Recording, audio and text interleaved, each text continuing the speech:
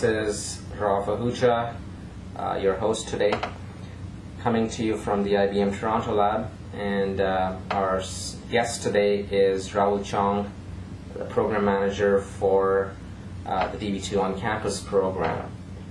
Now, it's a rare sight to see Raul here in Toronto because he's mostly on uh, uh, airplanes uh, all over the world these days.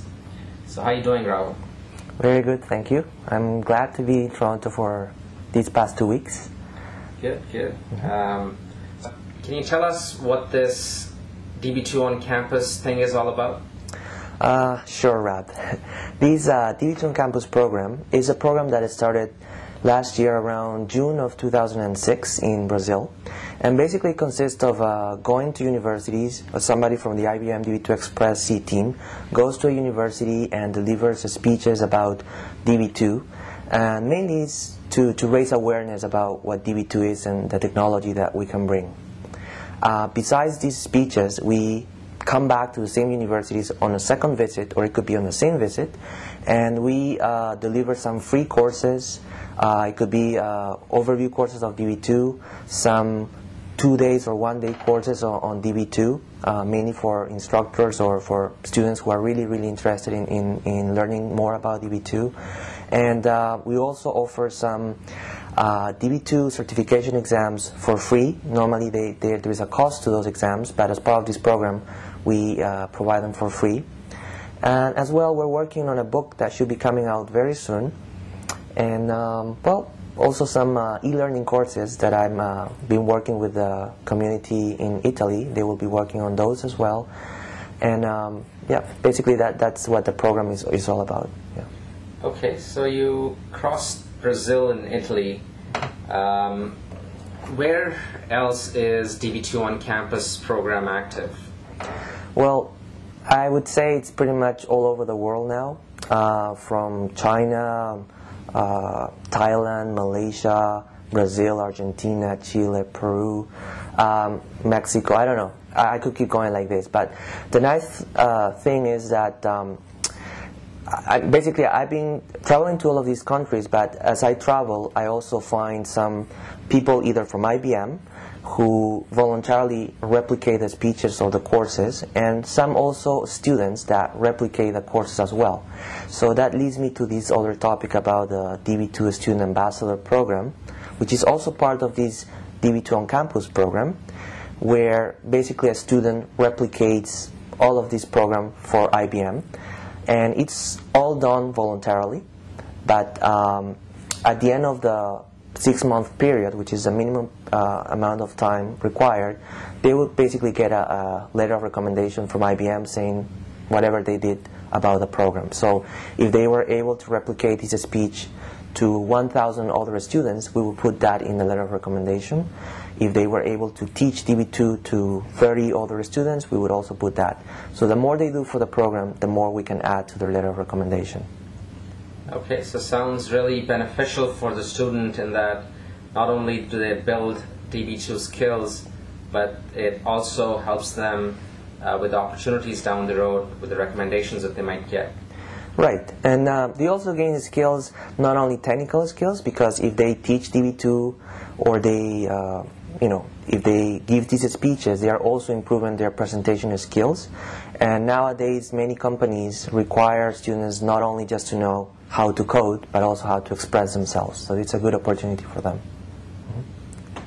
Mm-hmm. Um, Raul, can you tell us how uh, how do you envision this DB2 on campus program going forward? What are your plans? Well, uh, there are two main things that uh, we're planning to do in the near future. Um, one of them is uh, we're trying to grow the community, the online community, and we're going to be doing that using Facebook.com. Facebook.com is a uh, popular online social network. Uh, it's mainly used by universities, and uh, we recently created a DB2 on campus group in Facebook.com. So uh, basically, I would encourage you to register to Facebook.com and look for the DB2 on campus group and sign up. And that's the main uh, means of communication that we will be using in the future. Um, And uh, we basically can uh, uh, establish some, for example, uh, events. Uh, when is it that, for example, I will be visiting a given university? You can post your pictures there. So basically, it's a social network. It's not only necessarily uh, we're gonna just be talking about technical stuff. We can also talk about, uh, you know, it's basically more like friendly uh, type of environment. And um, um, the second uh, initiative that we are trying to run is trying to involve the community to start developing projects using DB2 Express C. Many times that I've gone to uh, universities, there are these students that are really willing to work, like develop some applications, but um, they have no idea as to what they should write. So um, using Facebook.com, I'm planning to um, uh, start a thread where we kind of list these uh, projects like you know different people from IBM may have ideas about projects or from other companies and maybe they can post them in uh, facebook.com the db2 on campus group and then the students may be able to see these ideas and they may be able to start developing them with other members of the group on a, volunt- on a voluntary basis? Okay. Um, so to get more information, I guess go to the Facebook uh, uh, group for DB2 on campus or the uh, DB2 Express C website, right yes um, and uh, and they'll be able to find where you're going next. Right. Um, I would uh, suggest you to first go to the IBM DB2 Express website, which is ibm.com slash db2 slash express. There is a students tab in that uh, website. So just click there, and there is one link that will show you uh, my schedule for my trips. And uh, there's also information about how to sign up to facebook.com. Or the second alternative is just to go directly to facebook.com, register, and look for the DB2 on campus group. Okay. So you said you're here only for two weeks in Toronto. What is your next destination? I'm actually flying this Sunday to Mexico. I'll be there for two weeks, visiting uh, four or five universities, and then I'll be going to South America. Mm, I'll be going to Peru, um, Brazil, Argentina, Colombia, and Venezuela. Wow. Okay, that's great. Uh, bon voyage. Thank you, Rav.